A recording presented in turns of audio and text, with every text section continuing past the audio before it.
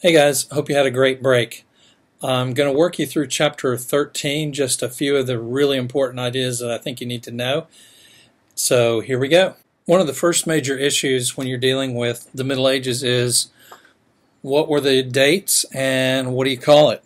First of all, for this chapter, we're only going to deal with the time period between the fall of the Roman Empire and the Renaissance or Reformation period. So that's generally about the 6th through the 11th centuries.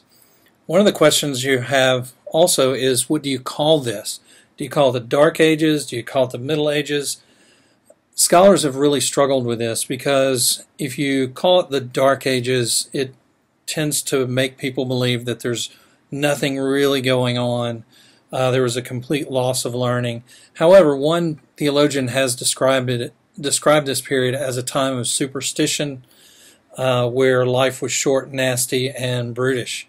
Now that is true. Life was really tough. They ran around in um, wool underwear, and it was cold. They had famine. They had war. So life was pretty rough.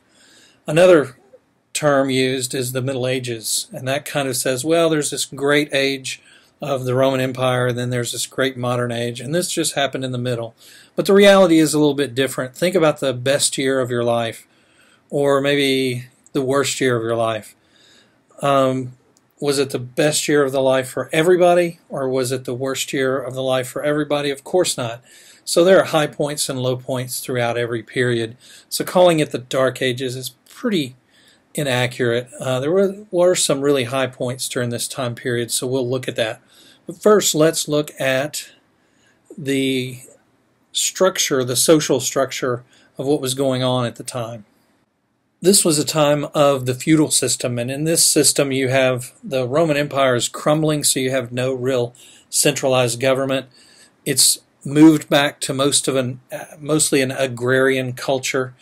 Uh, generally, what you're going to be doing if you are a person of the Middle Ages, you're going to either be a noble person that owns land, or you're going to be um, a peasant who works the land.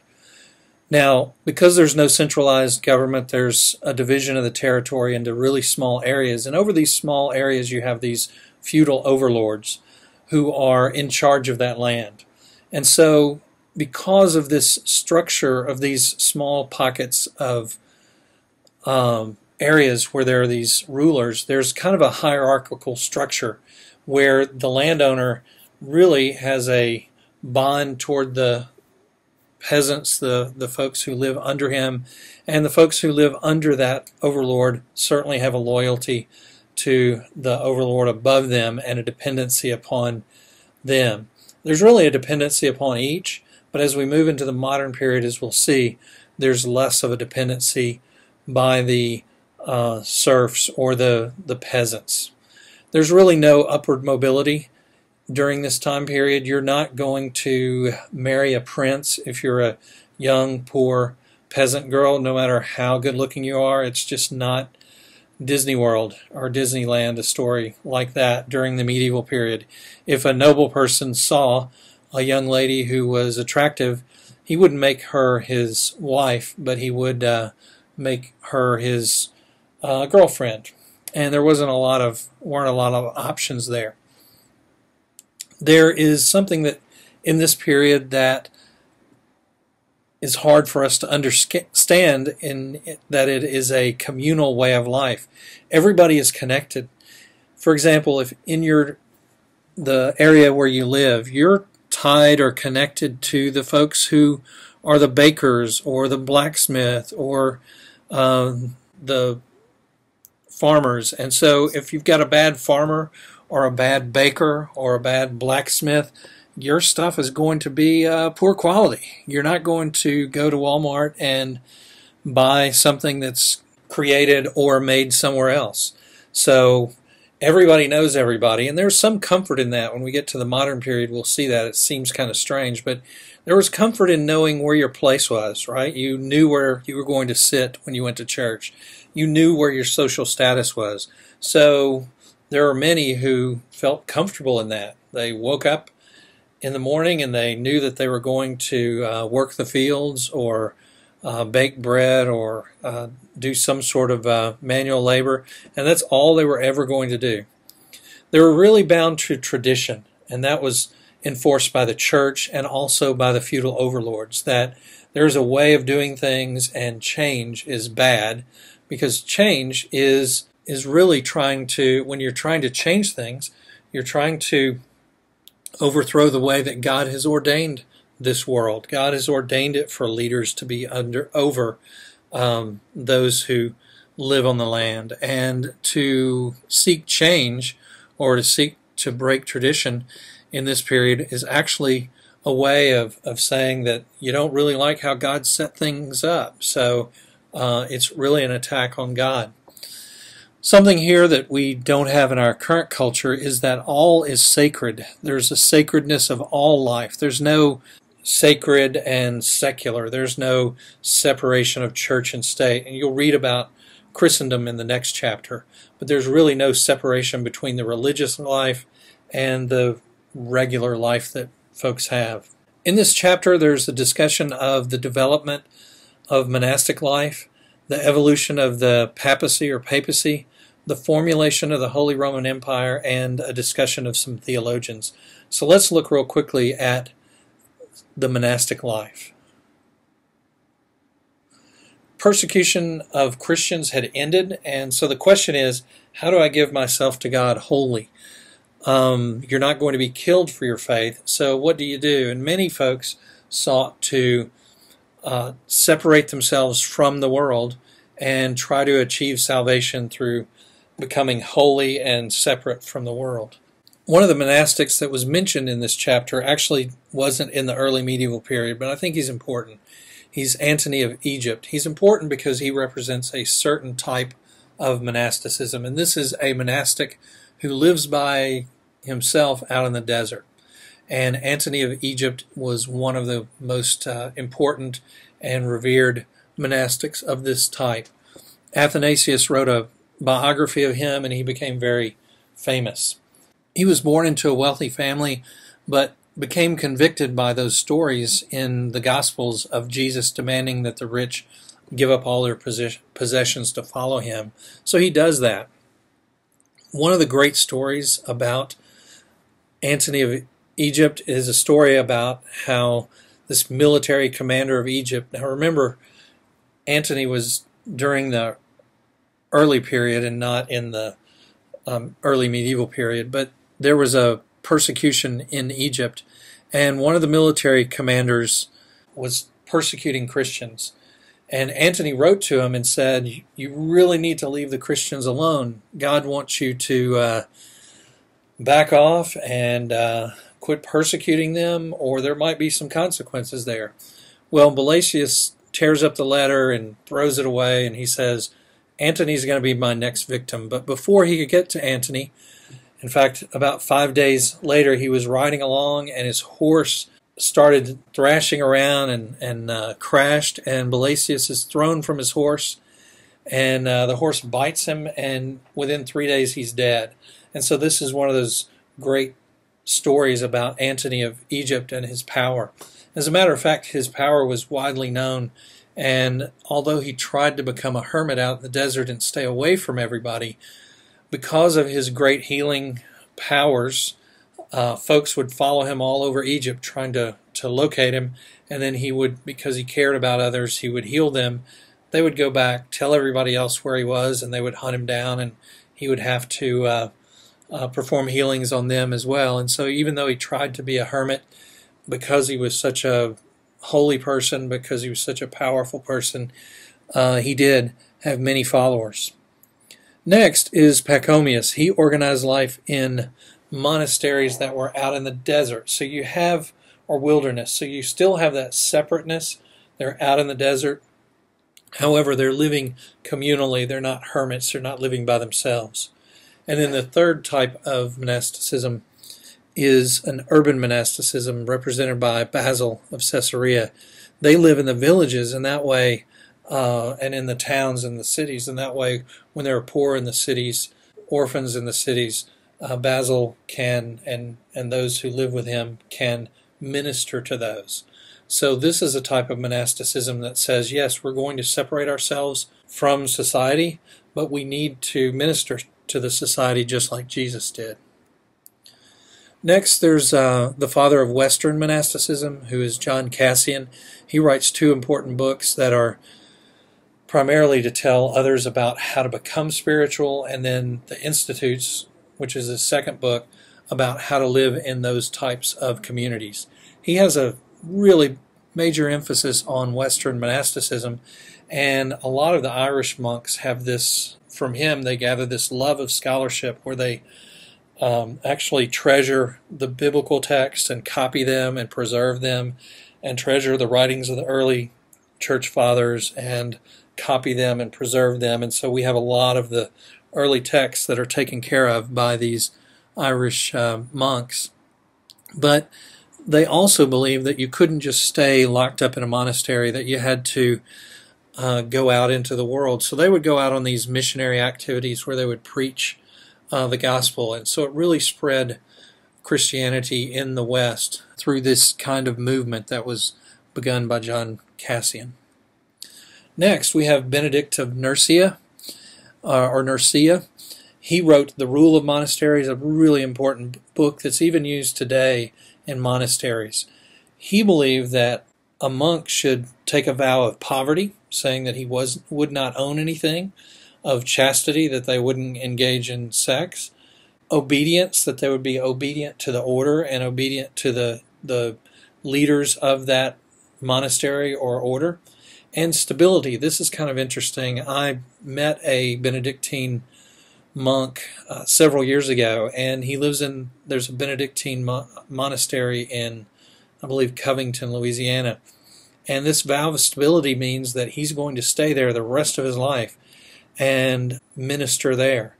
And generally, they pray eight times a day, and so his mission in life is to pray for those in the area in which he resides. And so, unless the order moves him, he's there. They're not. Go- he's not going to move around. He'll stay in Covington for the rest of his life.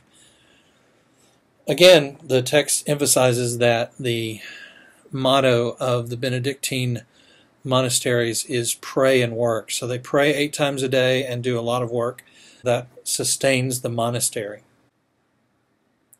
Now, as early on as 910, we have problems in the monasteries, and that's because they're being corrupted because of this feudal system.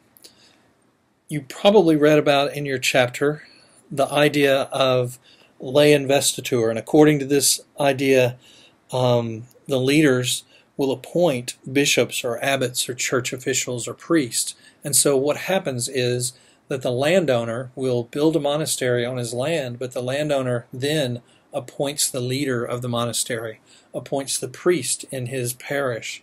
And because of that, a lot of times the priest or the abbot of the monastery feel more obligated to uh, serve the landowner than to serving the church. And so this causes a lot of corruption within the church. There's also that idea of simony where uh, persons can buy and sell church leadership positions, and that also corrupts the church. So at Cluny, you have William the Pious who tries to reform monasticism, and he does this by uh, trying to overthrow this idea of lay investiture and simony. Also attacks the idea of concubinage. You read about that in the text as well, and promoting celibacy within the monasteries.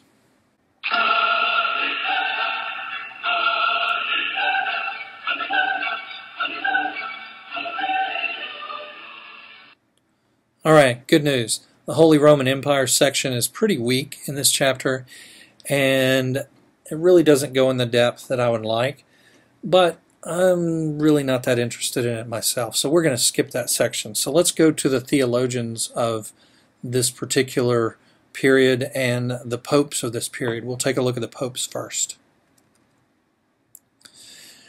The text does an interesting job of showing how the church is changing through the medieval period by contrasting the early pope with a latter pope. And so the first pope of this period happens to be called, uh, named Gregory the First, and he's a very devout follower of Christ. He is a servant. He's a monk. He wants to evangelize. He's also very uh, cordial to the to the Eastern Church, and so he's a super nice guy, right? He really cares about those within his flock and tries to bring about uh, good relations with the Eastern Church. And he's also very intent on evangelizing and preaching to the good news. Now, what's interesting here at the beginning of this period, his style is to uh, refer to the Pope as the servant of the servants of God. And so we have this very Christ like figure who says, My job is to be a servant, and my job is to be uh, to reconcile these differences between the various churches. And so he, he's more of a minister or more pastoral in his role. Next, we have Gregory the Seventh. Interestingly, they're not. He doesn't have the same name as uh, Gregory the First. What happens early on in the history of popes is that there's a pope who's named Saturn, and he really doesn't think that's an appropriate name for someone to lead the church, or the name of a god, so he changes his name. And the popes after him will then change their names to popes that to adopt names of popes that they uh, admire. So this obviously is an admirer of Gregory the First. However, he's very different in his role because the church is changing because of this feudal system and because of the problems with simony and uh, lay investiture. So he sees himself as the supreme judge under God alone, in that he is in charge of determining who he has the keys of the kingdom, and he can is in charge of who will go to heaven and who uh, is excommunicated. And as a matter of fact, he does excommunicate Henry IV, the Holy Roman Emperor because Henry IV wants to appoint his own bishops. And Gregory is trying to say, no, the church is in charge of determining who the bishops are. And so these are, uh, he has to really assert his leadership here and assert his own authority. And that's why the first Gregory is primarily focused on being a servant, and Gregory the seventh here is primarily focused on taking hold of the church and being in charge of the church because it's a church in crisis at this point. We're going to look now at a couple of the theologians from the Eastern tradition. Pseudo Dionysius. His real identity is unknown. We don't know a lot about him, but he's very famous in the early church. But I'm going to be honest with you, he wasn't that famous for me. I had my I was in my graduate work before I'd even heard of this guy. So he's not a major theologian of the church, but he was a major theologian of this period. Now, he's most famous for his via negativa approach, which says that all affirmations concerning God must be denied uh, because God is above and beyond all that we could understand. And so you can't say, I'm very smart, therefore God is the most smart. God knows everything. I can't be in one place, more than one place, but God can be everywhere. God is omnipotent, omnipresent.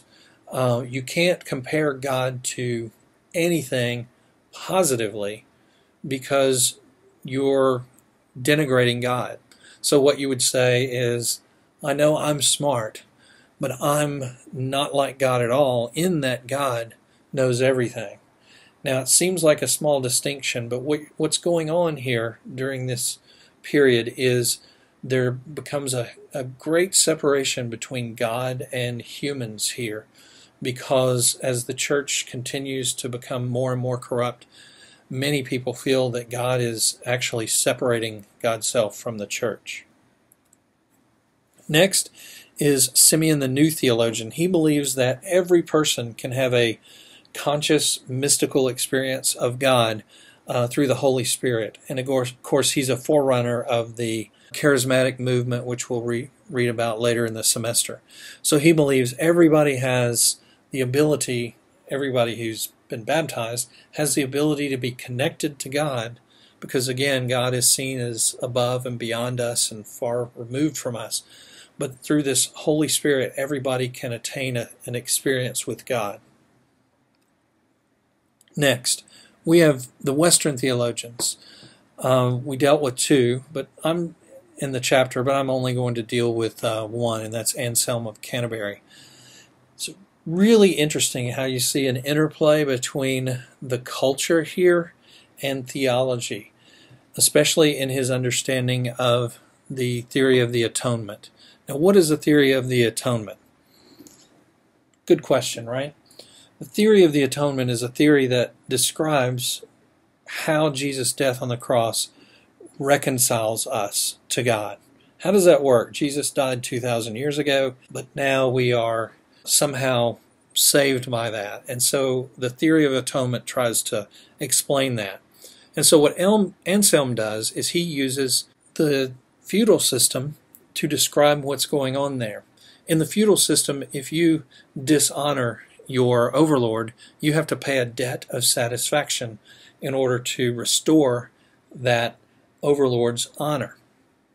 And so that's what Jesus' death was doing. Our sin had dishonored God, and so this is a debt satisfaction. Uh, Jesus' death on the cross is providing satisfaction or restoring God's honor. So the reason the text is called Cur Deus Homo, which is why the God man, God was the one who was dishonored. So only so let's talk first of all about why Jesus had to be man, then we'll talk about why he had to be God. Because humans had offended God, then humans had to pay this debt of satisfaction back to God. So Jesus had to be human because he was paying back a debt that was incurred by humans. This kind of ties back into the Cappadocian Fathers of what he did not assume he couldn't heal Remember that discussion? But what he, we're talking about here is that humans had dishonored God, so a human must pay satisfaction for that dishonor honoring of God. However, no one's perfect and no one can live a perfect life of holiness, and that's why Jesus had to be God as well. So he was human because he had to pay this debt of satisfaction back to God, but he was God because only God can live that holy life. Now, your text also mentioned that Anselm developed the idea, uh, discussions, an argument for the existence of God. Those are, from my perspective, a little more philosophical and not so convincing, so I like to uh, just leave that to Anselm and also Thomas Aquinas and maybe your philosophy teacher. So, there are three key facts that the text points out. There's a lot of social and political turmoil due to the feudal system and the um, battle between the popes and the Holy Roman Emperor and the popes and the local and the leadership of the church and the local overlords. However, monasteries were places where those who really wanted to become a Christian and attain holiness, they fled to these monasteries and they really developed a strong theology and they also preserved a lot of the earlier church writings and were places for uh, spiritual development. But as we see in the beginning there with at the end there with Anselm, this idea of creating a proof for the existence of God, these theologians also believe that the human mind and human reason would be very helpful in formulating and systematizing theology. I hope this helps you understand the text a little bit more. Remember to review that video about the essay and use that as you go back through this chapter to try to identify those things that are outside the church, those social or political factors outside the church that make an impact on the church. Have a great rest of the week. Again, if you have any questions about the chapter or need to see me or have any questions about the essay, feel free to uh, come by and see me or shoot me an email. Take care.